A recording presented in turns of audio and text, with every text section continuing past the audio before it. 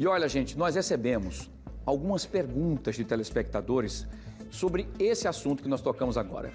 A primeira, nós vamos fazer daqui a pouquinho com o Coronel N. Bolivar, que é o especialista em segurança, está conosco aqui. Nós vamos trazer essas perguntas, porque foram muitas dúvidas e muitas pessoas que estão sem saber como agir no momento em que tem o seu celular furtado ou roubado, o que tem crescido, inclusive, consideravelmente em todo o país e aqui não seria diferente.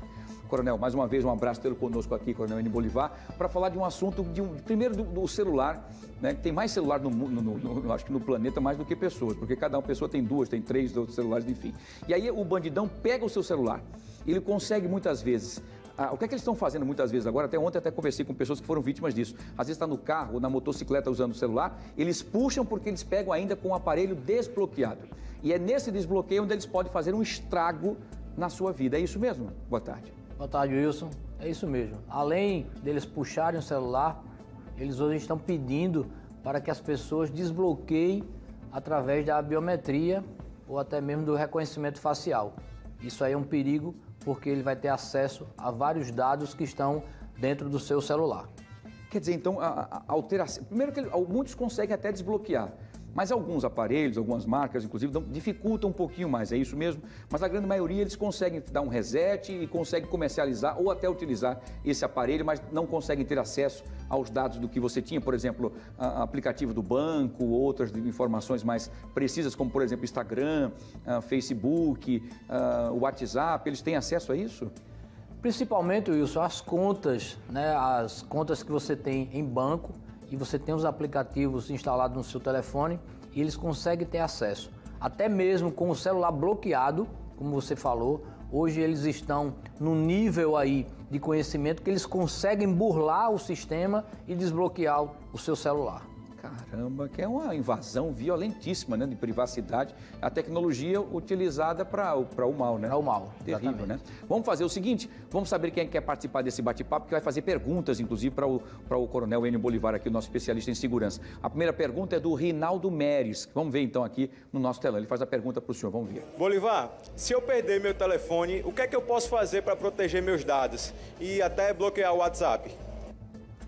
Olha, essa é a dúvida de todos, né? É, a pergunta do Rinaldo é uma pergunta que é recorrente, as pessoas querem saber. O que, é que a gente indica?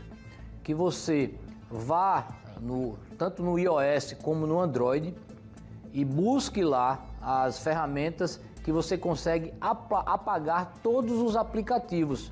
Por exemplo, no iOS, você vai entrar lá na, nas configurações, buscar o aparelho, você pode fazer isso inclusive no seu computador você vai buscar o aparelho.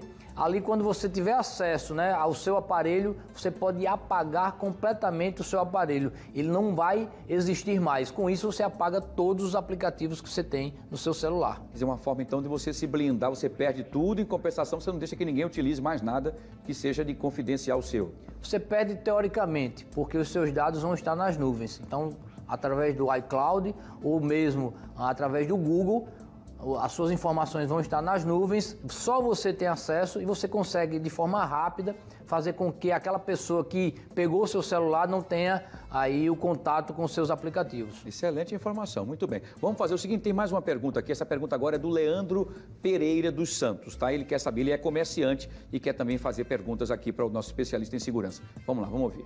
Na ocasião de uma pessoa roubar o telefone da pessoa e o aplicativo estiver aberto, é aquilo que a gente falou agora, que a pessoa que eles estão fazendo muito isso, aproveitando as pessoas com a, a, a, ali, enfim, alheia, alheias ali, mexendo, eles vão lá, pá, pegam você ainda com o celular aberto. Desbloqueado. Desbloqueado. Então, o importante é que você tenha, tanto no sistema iOS ou Android, que você faça o bloqueio de tela, tá? Ele o mais rápido possível. Você vai estar tá utilizando o celular, você passou alguns segundos, a sua tela já bloqueia. Isso aí vai te ajudar em muito, mesmo quando o celular for roubado ou furtado, que ele, quando esteja de posse do celular, que sair ali em fuga, quando ele for tentar abrir o celular, vai estar bloqueado. Você fala a, a temporização, o tempo, inclusive da tela. Da tela, porque a gente geralmente coloca um pouquinho mais para não estar toda hora tendo que estar tocando na tela para fazer alguma coisa. Exato. compensação, quanto menor tempo possível, segundos se for possível, melhor.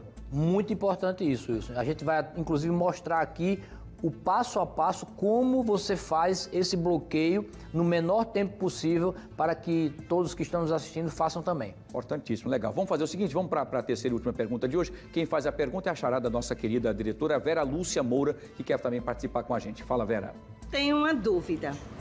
É, eu tenho Pix no meu celular.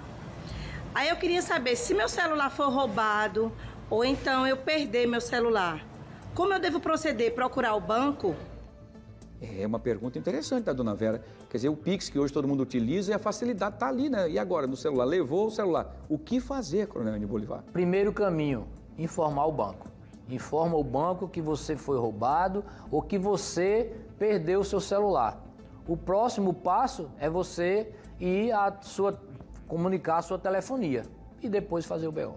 É importante se fechar de todas as formas, aí depois aí faz o boletim de ocorrência para se preservar. Exatamente. Quem sabe que o celular for recuperado, você possa ter ele de volta. Você vai mostrar que o celular é seu. Isso, é muito importante, legal. Vamos fazer o seguinte, nós vamos trazer agora, como, como o nosso especialista trouxe aqui para gente, o passo a passo, vou trazer agora para você o passo a passo para que você proteja os seus dados, tá? E ele vai trazer aqui as informações. Vamos lá, tá aqui está a primeira tela do celular. Tá. Como é que se, como é que se faz você aí? Você vai, vai entrar aí nos ajustes, né? Vai buscar tá. os ajustes, tá. aí mostrando como é que você tem acesso. Tá? Eu vou procurando ali, vai vou, procurando, né? procurando, e aí você vai encontrar tela e brilho, Wilson. Tá, depois tela na e central brilho. de controles lá embaixo tem tela e brilho. Toca em tela e brilho. Okay. Isso aí para o iOS, tá? Tá. Importante informar. Entrou aí na parte de tela e brilho, você vai buscar lá o local onde vai te dar o tempo, olha lá, bloqueio automático. E aí você tem. Ah, legal. Um minuto, dois minutos, três minutos, o que é que a gente indica? 30 segundos. E até nunca, né? Quer dizer, ficar aberto para sempre. Ficar aberto sempre. É um perigo. Que né? é um perigo. Então, 30 segundos é um tempo que é rápido, é o tempo até de você ser roubado, de alguém tomar o teu celular, e aí, quando ele estiver em fuga, a tela já vai bloquear. Ótimo, excelente. Gostei dessa aqui, muito bem. Legal. Vamos, vamos tem, tem mais outras informações? Tem uma, uma cartelazinha aí. Tem uma cartela mostrando mais, mais detalhes sobre tudo isso, isso, sobre dicas. Então vamos isso. lá, vamos saber aqui. Dicas para proteger o seu celular. Atenção, vamos lá. Então, saiba sempre o seu e-mail. Então, para você que está nos assistindo agora, pega o teu celular. Como é que você vai saber o seu e-mail? Você vai colocar aí asterisco jogo da velha 06 jogo da velha. Então todo mundo fazendo agora em casa. Vamos de novo. Tá, a gente colocou até aí embaixo, para quem quiser anotar, tá embaixo aí da sua, da, da, sua imagem ali, ó. Isso. Tá bom? Você tá vendo ali. E, o e-mail. Então vamos lá. Asterisco, jogo da velha, 06 jogo da velha. Ele vai te dar as informações do teu celular. Que é como se fosse a Digamos, identidade do seu a celular. A identidade, é o CPF do teu celular. São todos os números. Não saia de casa sem saber esse e-mail. Porque esse e-mail vai ser a chave para você fazer tudo o que você precisa. Banco, telefonia, o fazer o BO. Então é muito importante ter aí conhecimento desse e-mail. Esse e-mail às vezes está na caixa do, do, celular, né? São adesivos que vem colado na caixa, às vezes está na nota fiscal, mas é importante que você. Geralmente a gente joga, é, pega os, a caixa fora né? e tal. o é. mais importante é você, é você printar e depois anotar num papel em casa. Se você deixar dentro do celular, se for levado, né? Você falou uma coisa muito importante, Wilson. As pessoas costumam muito anotar naquele bloco de notas no do celular, né? ali senhas de banco, senhas de aplicativo, o e-mail. Você está dando tudo aí de bandeja para o bandido. Então não faça isso. Anote em casa. Em casa vai estar seguro. Perfeito, excelente. Cartões virtuais, o que é isso? Cartões virtuais é mais um formato né, que muitos bancos oferecem onde você, quando for fazer compra, você vai ter uma segurança, Wilson, que aquele cartão virtual ele não vai ser o cartão que você tem físico. Ele vai te dar um número diferente com um tempo de validade também diferente. Então você vai poder utilizar aquele cartão como se fosse um cartão físico, só que com a segurança que ninguém, se for clonado, não vai poder utilizar. Quer dizer, é um cartão que é, é temporário. Por exemplo, eu uso para aquela compra, depois disso, se alguém clonar aquele cartão, não tem mais acesso não tem. a ninguém. Não vai ser aceito por qualquer que seja o estabelecimento. Então é uma segurança que os bancos te dão. Maravilha, gostei. Terceiro. Baixar o gerenciamento ou o gerenciador de senhas. O que é isso? O gerenciador de senhas, ele vai fazer o trabalho para você de gerenciar as tuas senhas, fazer a mudança de senhas. Quando você precisar, ele vai te dar lá a senha. E outra coisa muito bacana de você fazer, existem alguns aplicativos que são aplicativos que eles fazem o mascaramento das senhas ou de outros aplicativos. A exemplo, é, eu tenho no meu, no meu aparelho um aplicativo onde eu tenho todas as minhas contas de banco. E você pode ter também. Isso aí é fácil, você vai baixar esse aplicativo e ele vai estar ali escondendo as, os aplicativos de banco com as suas senhas. Quer dizer, quando a pessoa pegar, ele vai logo buscar o aplicativo Não- de banco, ele não não, vai achar. isso, ele não vai achar, Não porque vai vai achar achar. num caminho que só o senhor sabe. Exatamente. Isso eu- aí vai dificultar e muito a ação do bandido. diga isso que é importante. Quem quiser depois entra lá no, no, no, no arroba N Bolivar, Coronel N Bolivar, que ele vai explicar com detalhes, tá bom? O que mais aí? O bloqueio de tela. Bloqueio de tela. Aquilo que a gente falou aqui já deu passo a passo, né? Você ter a sua tela bloqueada, né? Sempre que você vai usar, normalmente, vai fazer aí a, a liberação por detecção facial ou mesmo biometria. E quando você não estiver usando, o celular bloqueia. Isso é muito importante. Wilson. Três passos importantes: banco, telefonia e BO.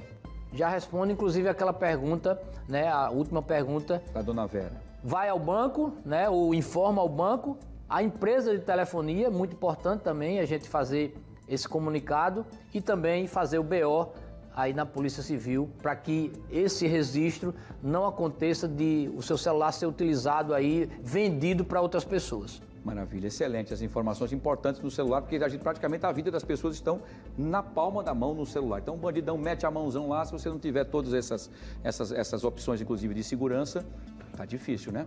Verdade. Bem. Então quem quiser entrar em contato com o Coronel N. Bolivar, nosso especialista em segurança, é fácil. Você vai acessar aqui, coloca aí, Aninha, por favor, o arroba, a, a Coronel, ali, arroba Coronel N. Bolivar, tá aqui na telinha para No você. YouTube também agora, hein? É, tá no YouTube. Rapaz, você tá no YouTube também. YouTube. Eita, Coronel N. Bolivar no YouTube. Coronel N. Bolivar, coloca lá também, vai no YouTube.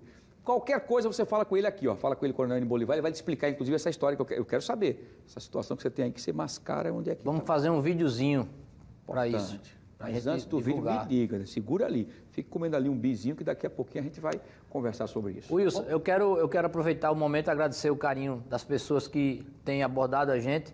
Tem a Lene da, da Ponta Verde, a Amparo também da Ponta Verde, lá de Jacarecica, a Dinha e a Roberta. Então, um abraço para esse pessoal que quando encontra a gente, sempre fala, ah, o Coronel Bolivar lá do Wilson.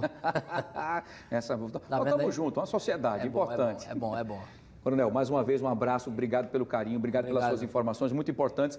Prestação de serviço pura, tá? Quem quiser, arroba Coronel N Bolivar, está às suas ordens para ele poder interagir com você, com vídeos, com outras coisas mais, para você debater com ele também e até trazer informações e sugestões a serem debatidas aqui no Explica Pra Gente, tá bom? Muito bem. É o Lowlight, conhecido mais como Lowlight. Muito bem. Um abraço, Coronel, sucesso para você. Obrigado, Até a próxima. Boa tá tarde a todos. Muito bem, um abraço grande, boa tarde, Coronel. Muito bem.